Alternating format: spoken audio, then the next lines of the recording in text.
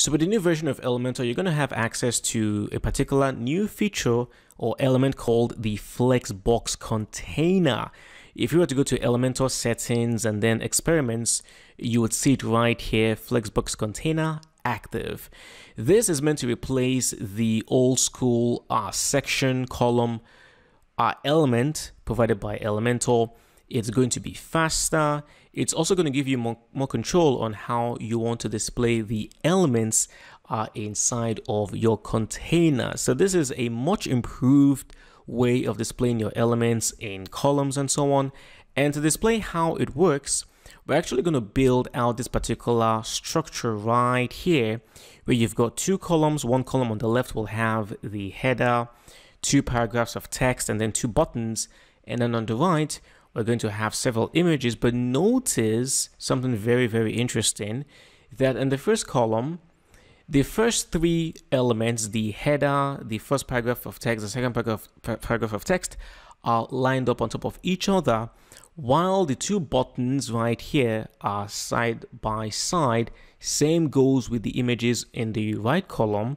You've got two images in the first row, two images on the second row, but then on the third row, you have three images. So this is a little bit more advanced than the usual uh, two column structure or three column structure. So I'm going to show you how you can achieve this by using the new uh, Flexbox container. All right, so the first thing you want to do is to click in here. All right, you will see the container element in here. Do not use this one. Just simply click on the plus button in here and then choose the two uh, column structure in here.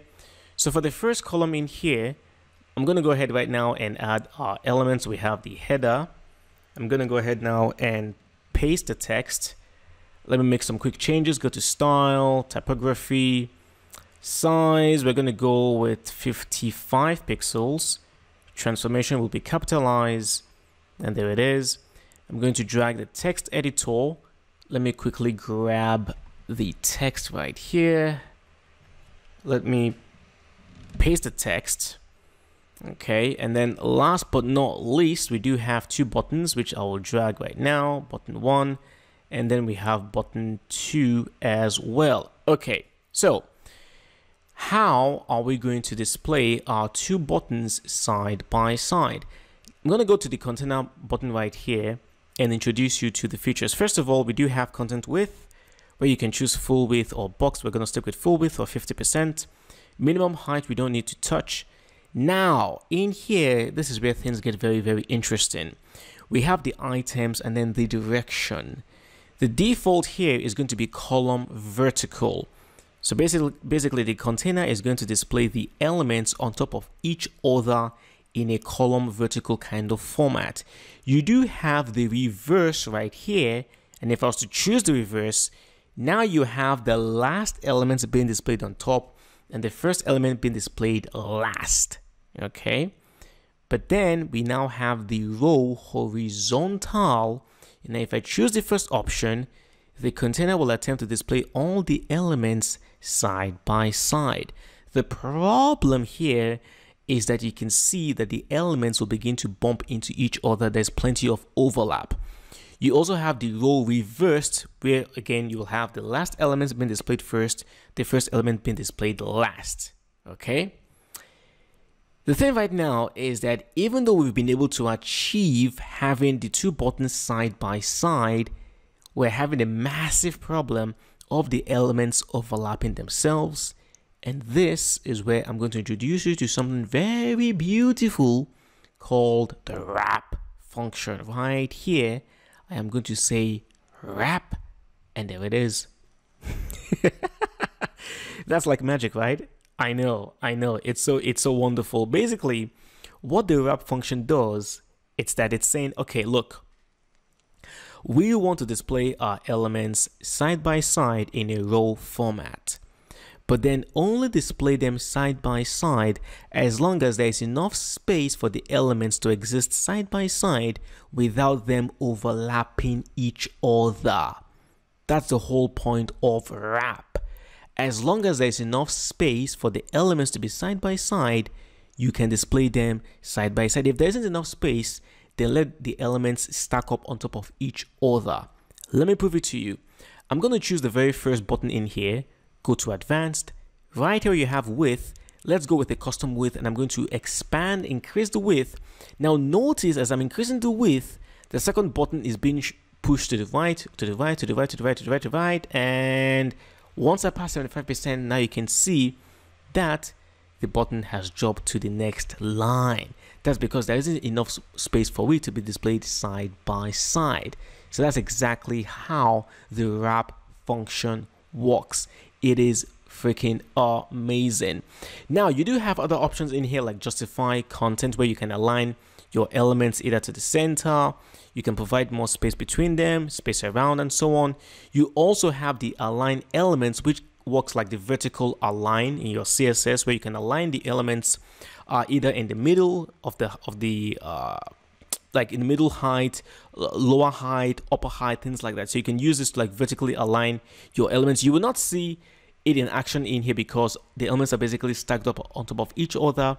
We're not really vertically aligning anything in here. That's why you don't see uh, the actual uh, effect in use but do know that you do have these options in here you can also increase the gap between your elements if you want to uh, but we'll just set this one to the default uh, 20 for now the default is 20 okay that's that for the first column.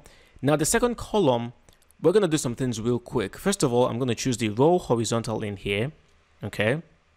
And then the gap between the elements we're actually, we're actually going to set this one to zero okay? We're going to add the padding directly to the images themselves okay? So we don't need any gap between the elements. And then we'll also provide a wrap as well okay? And that is it. I'm going to go ahead right now and add the very first element in here which is going to be the image so let's drop that in there i am going to choose the brazilian flag all right i'm going to make some changes in here first i'm going to go over to advanced the padding we're going to add 5 pixels around. And then for the width, we're going to go with custom. And I'm going to set this one to 50%. And there it is. Now I can simply go ahead, duplicate, and now we have our second image. I am going to duplicate again and again. Now all I'll do right now is to simply change the images, choose the German flag as the second.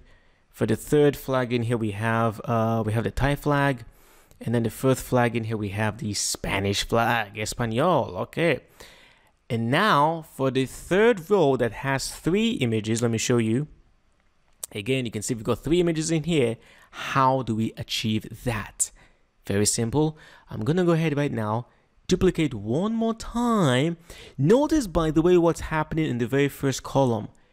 Have you, on the first container rather, have you noticed that there is now more space between the elements. We'll talk about that a bit later, okay? But now for the final row and the second container, I'm going to edit the image right here, go to advanced, change the width right here from 50 to 33.3, and there it is. I'm going to go ahead now, duplicate and duplicate, and now let's make the final changes to the content themselves. We have the Russian flag Okay, and then we have the Argentine flag. And then we have the Colombian flag. And there it is. And there it is. We've been able to successfully create the image gallery and our second container. But now take a look at the first column where we now have the elements being stretched. What has happened? Why do we now have so much space between the header, the paragraph text, and the buttons. See, the thing is, the Flexbox container will try to match the height of both columns, okay, of both containers.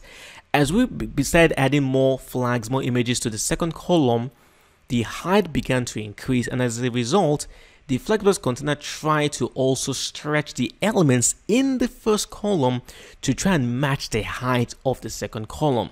So if we don't want this, what we could simply do is to go back to the first container in here and then right here where you have align content, simply go from default to flex start.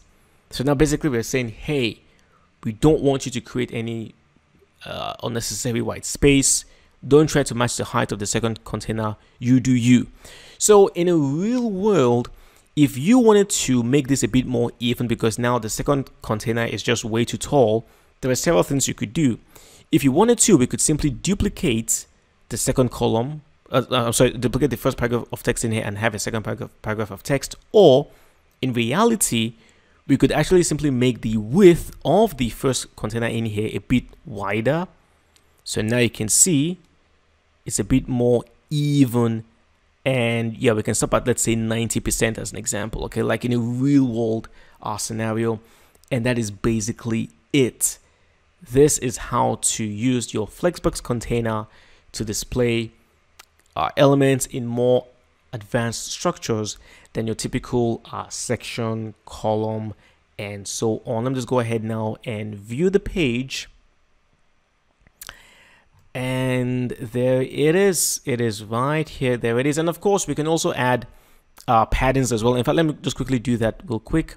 I'm going to add some padding to the uh, main container itself so it looks a bit more presentable. All right so right here let's go to advanced and then padding. Let me unlink this one. I'm going to add uh, 45 on the top and then 45 and the bottom and there it is. Update one more time. View the page. And there it is looking much much better. So that's basically how to work with the flexbox container. Thank you for watching the video. I'll see you in the next class